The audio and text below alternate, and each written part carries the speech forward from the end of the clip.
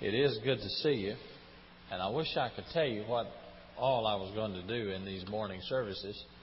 It's been a good while uh, since I've had the opportunity to just settle down and spend a week teaching in a meeting. You know, uh, usually you have it, you're crowded in to such a short time that you just can't relax anymore. Everything's got to be rigid, and you got to be in a hurry, and and so on and so on.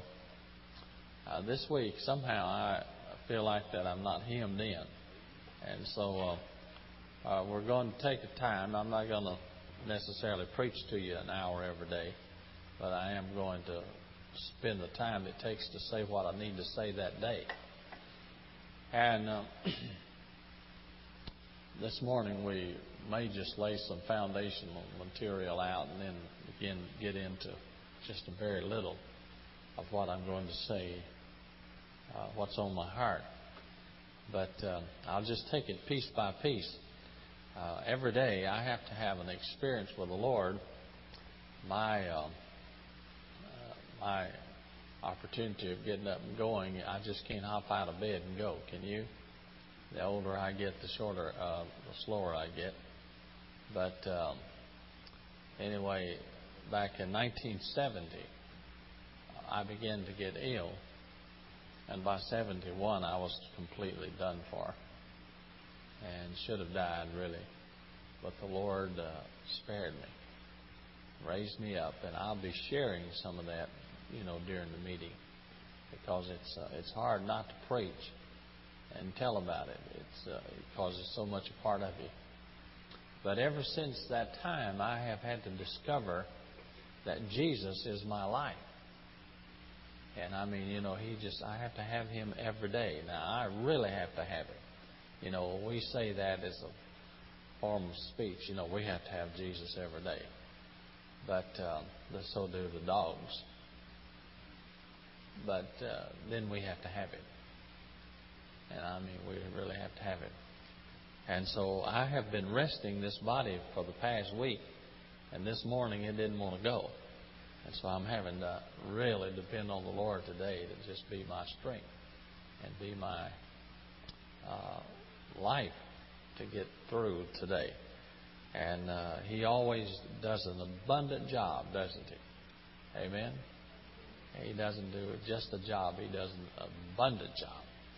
And so I'm praising God today that He's going to do an abundant work in my own personal life as well as yours. Now, let's see that in faith workbook two. In this uh, faith workbook two, the first message outlines and I'm not going to be going through this as such, so uh, I'm not uh, telling you this so you'll go and get it and follow me through these messages. Although a great number of the message I'll be bringing will be out of these uh, books that I've written. But the first chapter in this particular book is called The Seven Basic Laws to the Life of Faith. And uh, those seven basic laws are laws that I have found to be um, necessary as far as you growing and establishing yourself as a Christian life, in the Christian life. Now, when you say laws, you, you have a difficult time explaining this to people. Uh, here we're talking about uh, the demands of God. When I say the laws of God, I'm talking about the demands of God. And I feel that there are seven basic demands upon your life if you're going to live a vital, mature Christian life. That's I, I've said the same thing over seven basic laws that govern a Christian life. Now, amazing thing about the demands of God, the demands of God are, and this is probably the most significant thing I'll say this morning. And I don't know where you could get it without having to write it down if you want it. But the demands are the laws of God are all fulfilled when a person is properly related to Jesus Christ by faith.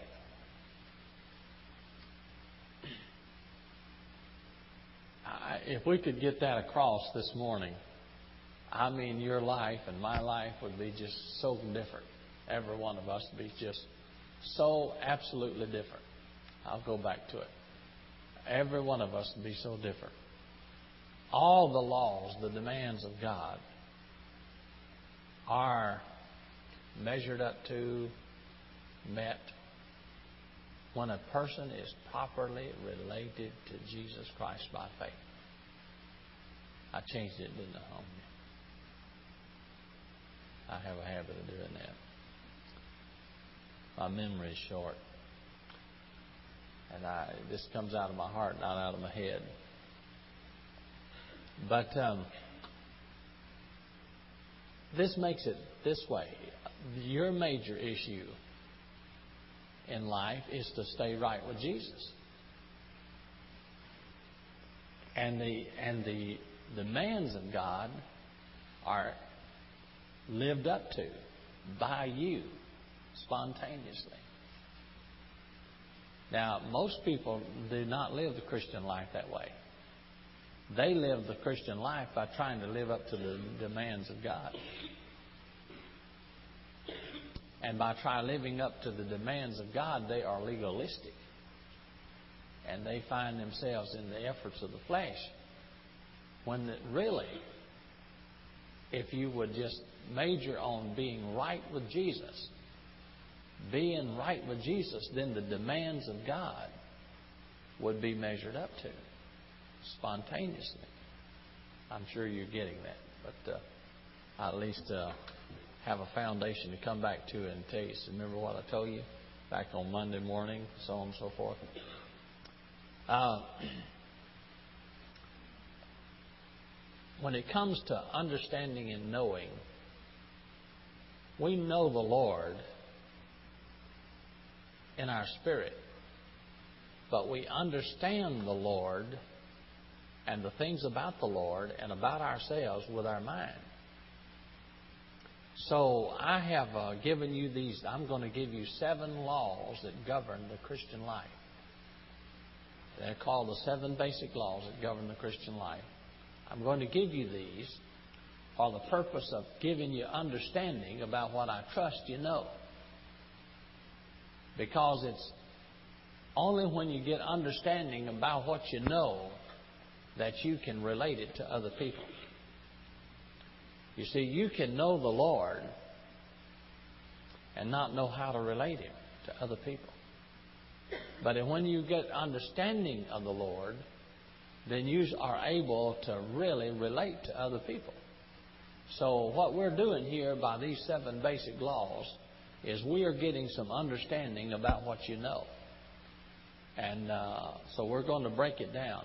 Now, I'm going to give you these seven basic laws. You don't have to take them down unless you just want to. If you want to take them down, I can show you how to do it best. Like the first law, listen to me, don't try to take anything down right now. Uh, the first law is that of a vital relationship. Now, all you have to do is just put down two words, vital relationship, and you have it. The first law is that of a vital relationship. Now, I have not preached on that at all. And I probably will not preach on that in the morning, but I probably will preach on that tonight. But I'm having to give you the whole pictures because I want you to harmonize the truth so you'll have some understanding. Hey, man, you're up there this morning. That helps me out. Um, okay. Um, that after a vital relationship, let me give you a verse of Scripture with that because some of you are visiting today and you won't be back. And we want to give you as much information we can give you, uh, as well as life and light. Amen. Uh, so you you never get to come back, and you go into the tribulation, you'll have something to, to feast on.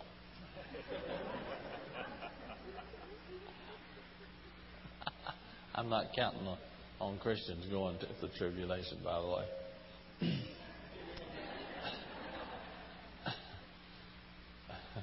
but things keep happening. Uh, some of us may change our views. but uh, Romans 8:16. Now, after vital relationship comes what I call maintained fellowship. Just two words. Now, your pastor has been dealing with maintained fellowship in the last couple of Sundays, and you've seen some real, a real touch of the Lord. Now, this matter of a maintained fellowship is the number one issue with vital, with real Christians. How to maintain your fellowship is the big issue. The scripture reference is 1 John 1. 1 John 1. 5 through the rest of the verse, chapter. The rest of the verse was there, 9, I think. After vital relationship comes what I call recognized lordship. Now, that's where we're going to spend our time these couple of days. Recognized lordship. Hebrews uh, 12, 5 through 11 recognize lordship.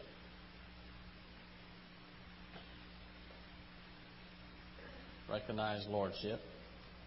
And after recognized lordship comes personalized revelation.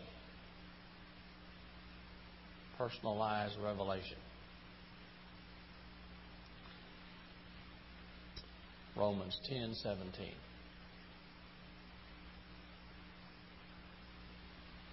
All right, after personalized revelation comes, I call this the technique of faith. It's appropriating faith. It's a type of faith. It's a particular type of faith. Take, the technique of faith. Mark 11, 24.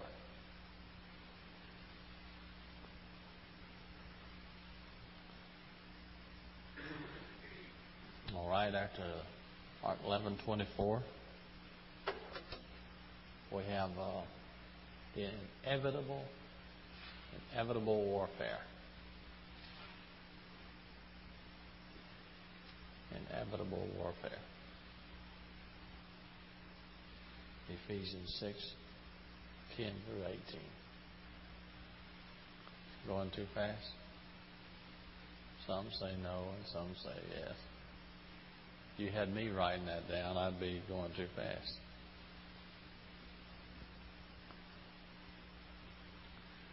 Okay, after inevitable warfare, I call the law of abiding. The law of abiding. John 15, 1 through 10. Okay. Now, here's what I want to get across to you about this. If you're going to have a real, genuine, vital stable, fruitful Christian life, you're going to have to you're going to have to know these seven steps. Now, these seven steps, I'm going to repeat what I've already said, are fulfilled when a person is properly related to Jesus by faith. All seven of these steps are handled. But that just happens naturally, and you don't have understanding. But when you have understanding of it, then you can help not only be helped, but you can help others to understand. Uh, like, for instance, people will come up to me and say, Brother Manley, I am believing God for revival. Well, I know that uh, that's normal to believe God for revival. But I'd say, on what grounds are you believing God? They say, well, I'm just believing God. Well, I know that before long, the first little battle, that child of God will go down the drain into defeat. You know why? That child of God does not have a personalized revelation from God that child of God is not anchored in the Word. Follow me?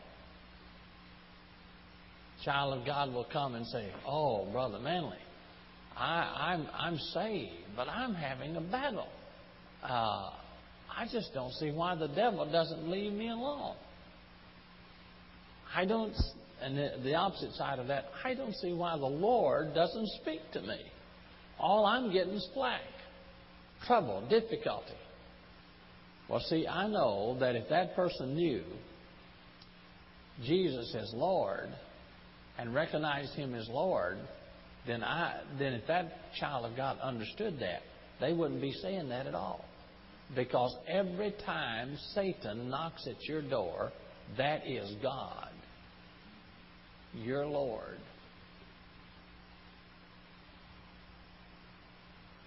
Y'all see some of them faces. Amen. Now we're going to deal with that. And we're going to deal with that one first. Amen. Uh, one of the reasons we're going to deal with it first is because, and one of the things you're going to have to get used to me is that you'll think I'm just being very casual and just talking along and carrying you along. And the first thing you know, I'll be through with the sermon. You won't even know I preached.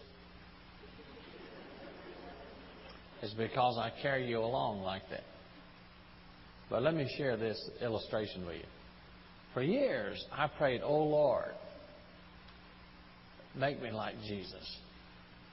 I want to be a Christian. I mean, I'm saved. I'm saved. I want to be like Jesus. And Lord, just make me the Christian you want me to be.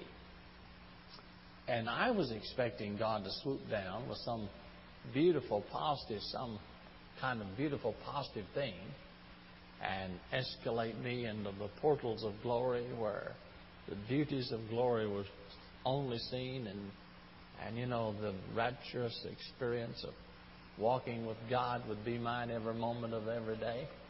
And instead of God doing that, you know what happened? He let me have adversity. Every way I bam, bam, bam. And I said, God, you're dead. And one day, I, I just kept, I put it in these words. I kept, kept saying, God, I, I've got to crawl to the top of that mountain where I know you are. You are the God of the mountain. And one day, though, I discovered him in the valley. So I found that he was not only in those rapturous, beautiful, marvelous, glorious heavenly experiences, but he was right in the middle of those bad ones. So this brings us to the message today recognizing Jesus as Lord. Recognizing Him as Lord. Now, it's not hard to see from a study of uh, Hebrews 12, beginning at the fifth verse that the Lord chastens those whom he loves. If ye have forgotten the and ye have forgotten the exhortation which speaketh unto you as unto children, my son, despise not thou the chastening of the Lord, nor faint when thou art rebuked of him. For whom the Lord loveth, he chasteneth and scourgeth every son whom he receiveth. If ye endure chastening, God dealeth with you as with sons. For what son is he whom the Father chasteneth not? But if ye be without chastisement, wherefore all are partakers, uh, then are ye bastards and not sons. And he goes right on through, dealing with that right on through the 11th verse. Now, what I want you to see here is give you this picture. You see, we're talking about a father with a son. And we're talking about a word. The word chastisement is a very, very significant word to me at this point. And it, it, for the next couple of days, it'll, it'll be something to us. The word chastisement, you know, just sort of put it in your mind and say, okay, this word, what is, what does it mean? We're going to see something of what it means. Now, let me, um, because I have uh, given you a bunch of scriptures already today, I'll give you the scriptural foundation for this message, uh, all of it tomorrow, just part of it today. Let me give you uh, one thought uh, that um, that really trips people up, and that is this: if you are going to live the Christian life, sooner or later you're going to have to learn how to deal with adversity.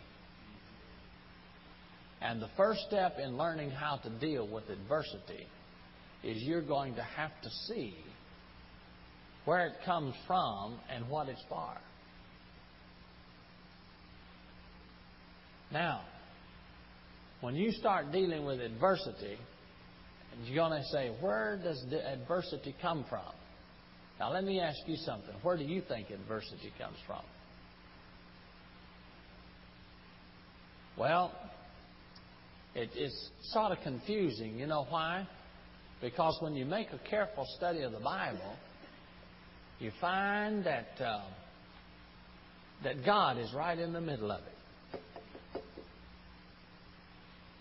But when you look at the circumstances in which it's delivered at your door, you don't see God, you see the devil.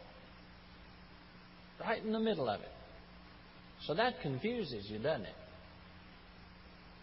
That really confuses you about adversity, trouble, difficulty. Because you, you know, you say, well, now God can't tempt people to do evil. Well, the problem is that we have had a little difficulty with that verse, you know, and we we think the word temptation is an enticement to sin. Where when you look in the Bible, the word temptation is not necessarily an enticement to sin. It's an exposure of wickedness. That's right. Now I'll come back to that. We're going to deal with that a little more in, after a while. But let me give you a couple of verses. Look at uh, Look at Romans, the 11th chapter, the 36th verse. Now, if you don't want to turn to it at this time, I'll turn to it to save you some time. And you just listen to me very carefully, and if you want to make notes on it, of course, write it down. Romans 11:36. For of him and through him and to him are all things to whom be glory forever. I mean good things of him and through him and to him. What about bad things? Huh? Of him and through him. Good? Yeah. What about bad? That's, that's hard.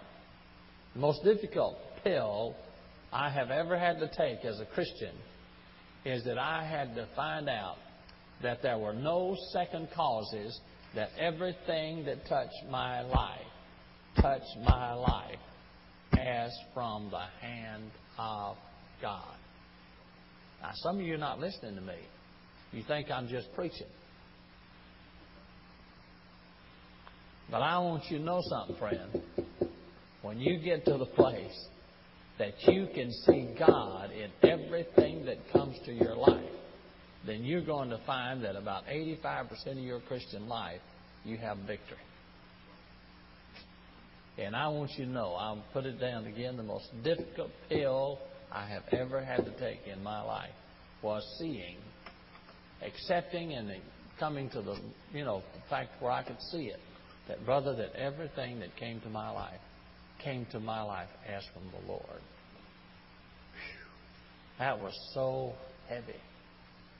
That was so heavy.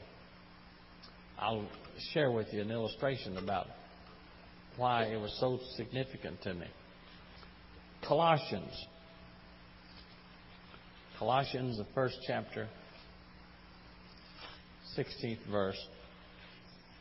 By him were all things created that are in heaven, that are in earth, visible and invisible Whether they be thrones or dominions or principalities or powers, all things were created by him and for him.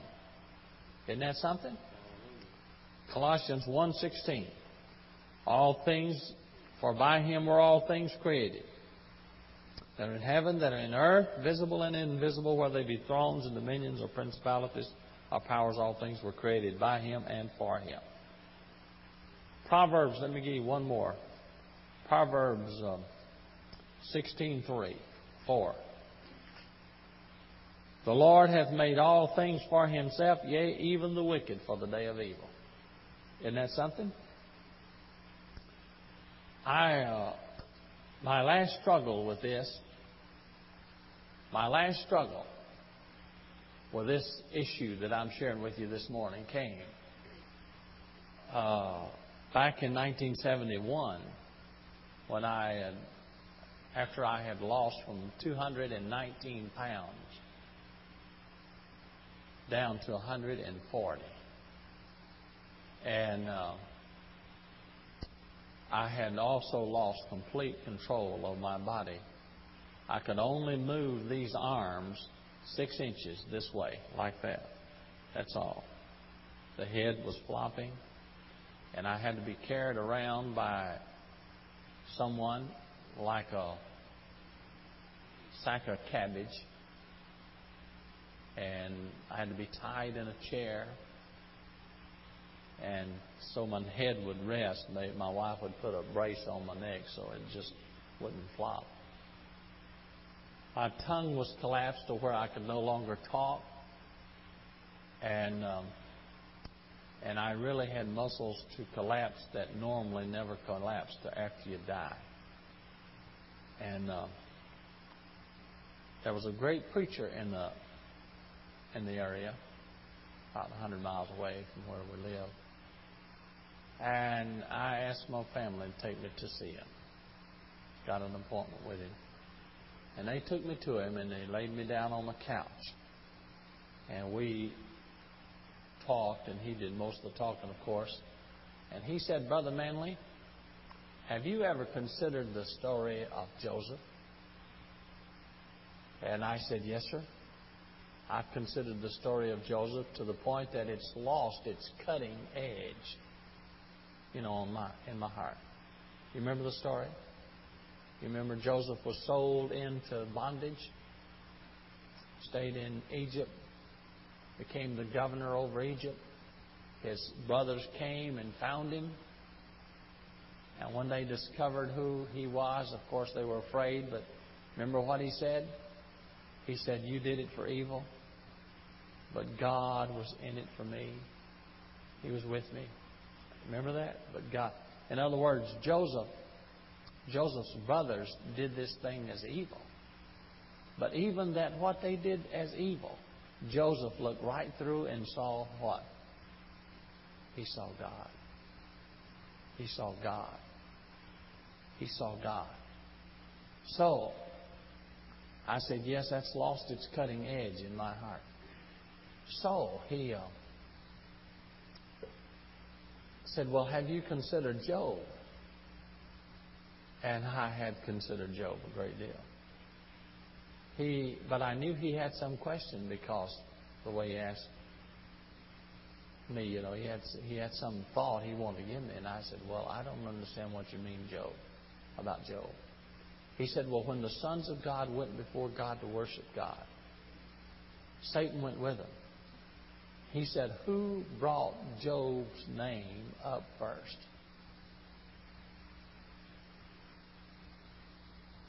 God. So, who was really responsible for Job's adversity?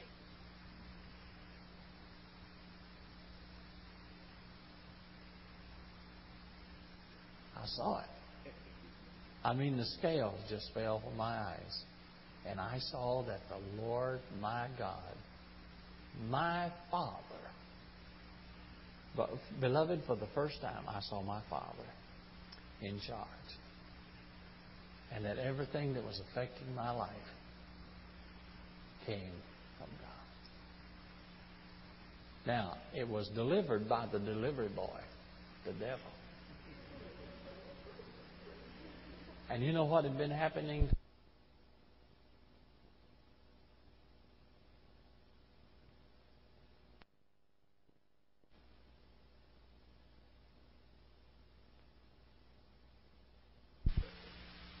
So the Lord just let me see that He was in charge.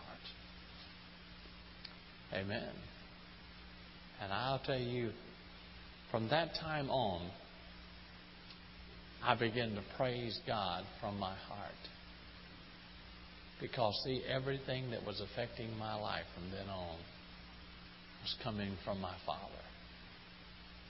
And I could say, okay, Lord, if that's what you want, you can have. You, you're in charge. See, lordship became a reality. Amen? Lordship up that point was a theory.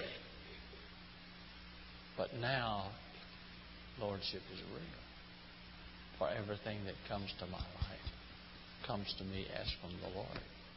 And can't you see where the, up to this point, let me just put it this way. Up to this point, I knew that the Bible said, in all things give what?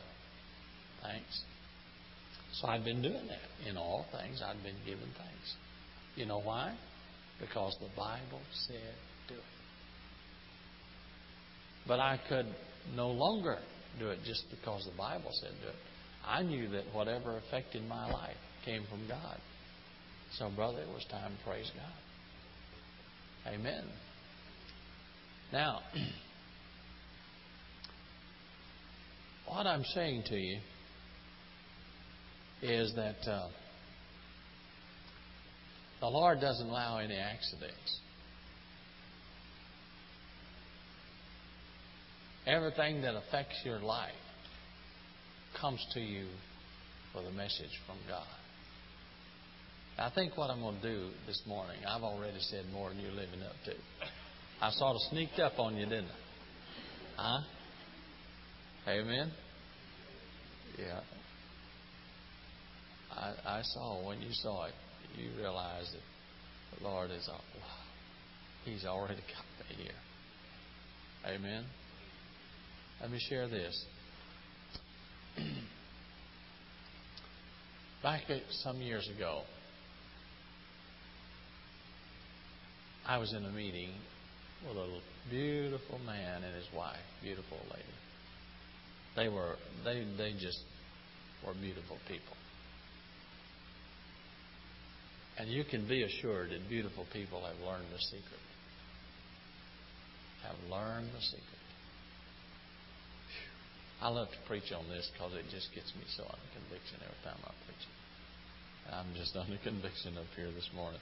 Uh, I was having lunch with this couple. The, the pastor and his wife, they had no children.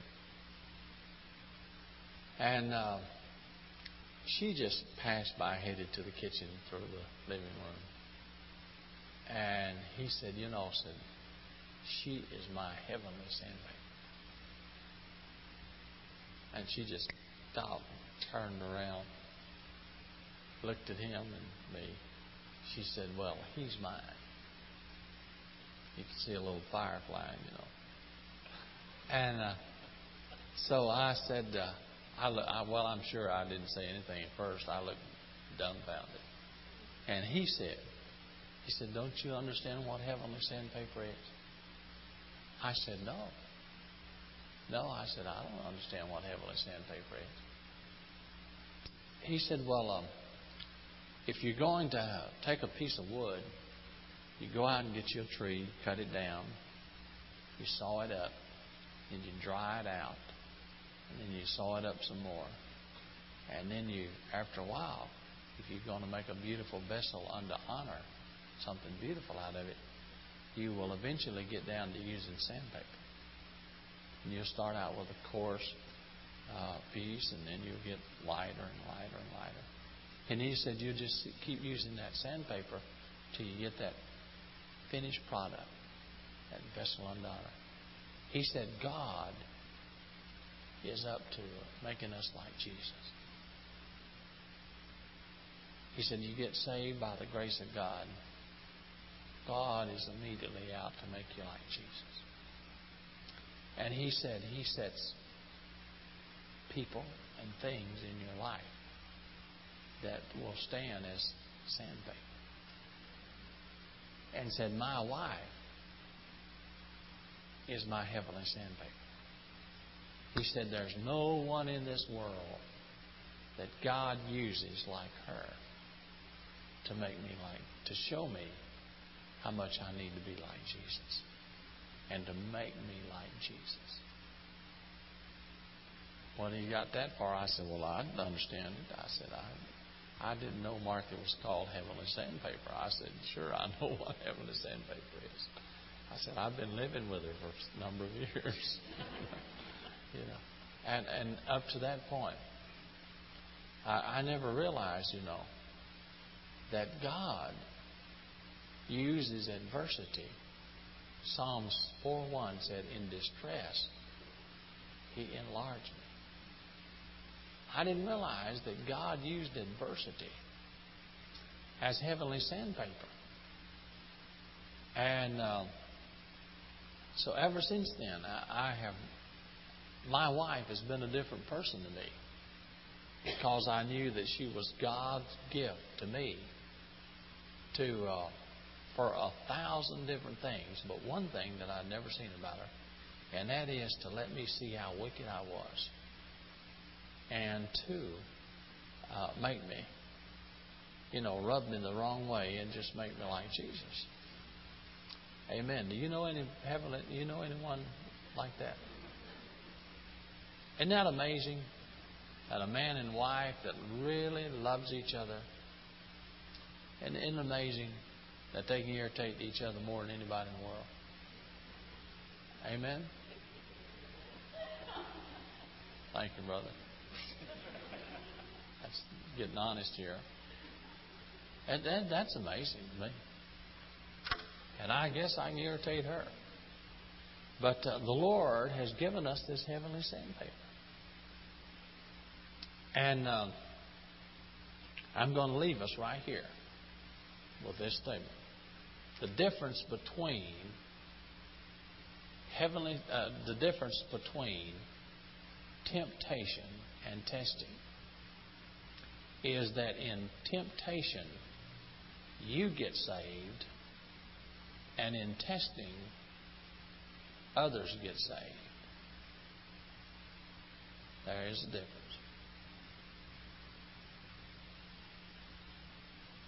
In temptation, you get saved, you get redeemed. In testings, others get redeemed. And I, I want to leave you with what I mean. You see, when you are tempted, you get exposed for what you are. And thereby you get right with God in testings, people get to see Jesus in you. And they want Him. May the Lord bless you. You're dismissed.